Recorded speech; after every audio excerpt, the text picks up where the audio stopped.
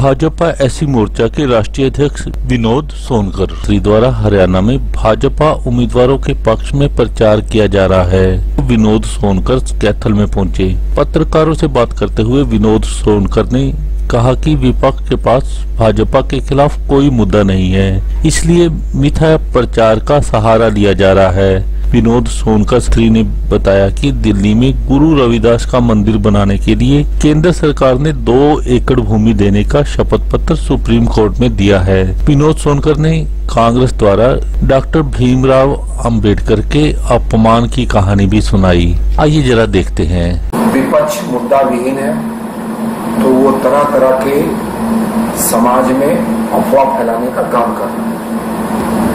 दिल्ली में जो रैदास मंदिर तोड़ी उसको लेके कल भारत सरकार के यशस्वी प्रधानमंत्री आदरणीय मोदी जी के नेतृत्व में हमने दो एकड़ ज़मीन रैदास मंदिर के लिए देने का एफिडेविट सुप्रीम कोर्ट में फ़ाइल किया है। और ये कोई पहली बार नहीं है। अनुसूचित समाज के महापुरुषों के लिए इस देश में आज तक अगर किसी ने किया है तो भारतीय जनता पार्टी की सरकार है।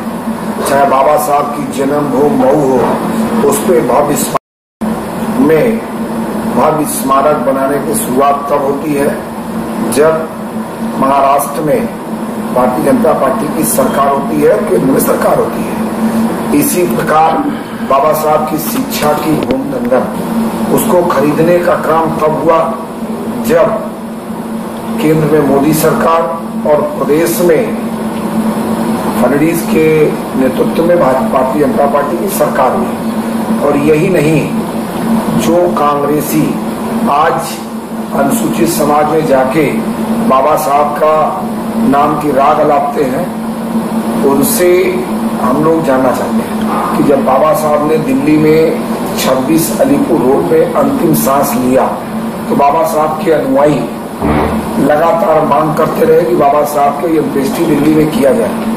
लेकिन उस समय की सरकार, पंडित जवाहरलाल नेहरू जी की सरकार ने छह गज ज़मीन बाबा साहब की अंत्येष्टि के लिए नहीं दिया। और बाबा साहब के अनुयायी उनको लेके मुंबई गए और वहाँ पे उनकी अंत्येष्टि स्थल अंत्येष्टि किया। उस पर भी हिंदू मिल की ज़मीन थी। जिसमें लगातार इस देश का अनुसूचित समाज मांग करता रहा कि यह ज़मीन हमको दे दिया जाए, हम लोग बाबा साहब के स्मारक बनाना चाहते हैं। वो साढ़े बारह एकड़ ज़मीन कांग्रेस की सरकारों ने नहीं दिया। वो ज़मीन जब केंद्र में मोदी जी की सरकार बनती है तो साढ़े बारह बारह एकड़ ज़मीन 400 करोड़ से खरीद के समाज को सौंपा ही नहीं गया, बल्कि वहाँ पे 200 करोड़ की लागत से अधिग्रहण करने के बाद जब सरकार हमारी चली गई यूपीए वन और यूपीए टू की सरकारों ने उस पर एक भी ईट रखने का काम नहीं किया।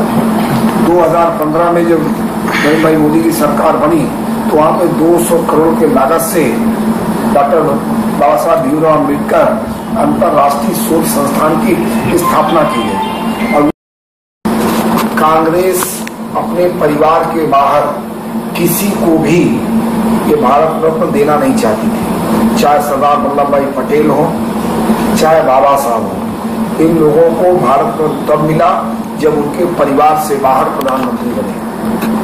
बाबा साहब को भारत रत्न तब मिला जब बीपी सिंह की सरकार में पूज्य अटल जी ने मांग रखी और उनके प्रयास से लगा दोस्तों, वीडियो को लाइक और शेयर कर दें। हमारे चैनल को सब्सक्राइब करके बेल आइकॉन को दबा दें ताकि हमारे हर एक नए वीडियो की जानकारी सबसे पहले आपको मिल सके। धन्यवाद।